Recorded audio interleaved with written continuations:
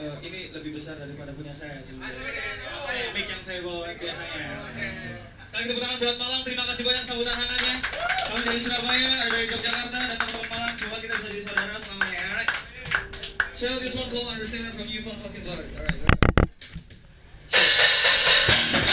alright.